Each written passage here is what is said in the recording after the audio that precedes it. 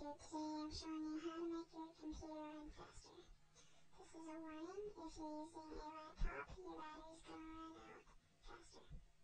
Okay, so go to your start menu, go to the search bar and search power options. Once you search power options, you should get a little window like this. And click on high performances. Um, like I said, if you're using a